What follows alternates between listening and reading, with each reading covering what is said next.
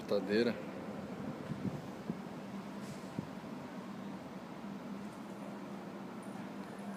Esfolhando Araribá.